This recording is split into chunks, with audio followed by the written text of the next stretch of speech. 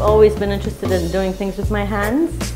And actually, my eldest sister got me very interested in pottery because she used to collect pottery and she still does.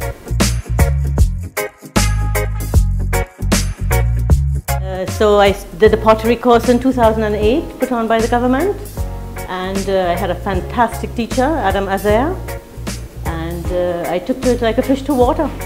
I started doing it and in the course we did all the different aspects of pottery, pinch pot, coil, slab and the wheel, but my favorite was hand building.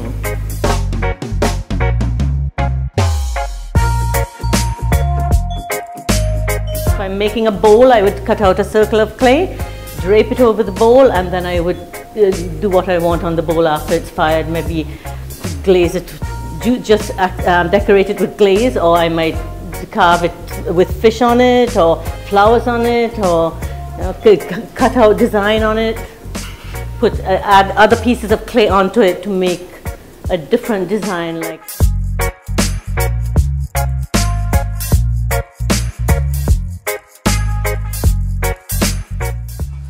Special, all in the fingers and hand, still hollow. Hollow? Wow. what it's all. How, how you're able to make them still hollow? Well, I've been seeing like from small doing this thing, eh, so I often like to bring things to a certain peak that people got to wonder, how you get that though? it's the mind, you know, the mind make them a way like from long time. So stick with me, eh? A kiln is an oven that's made for pottery. Actually, you could even cook, you can cook in the kiln. You can roast a turkey in the kiln if you wanted. Yeah.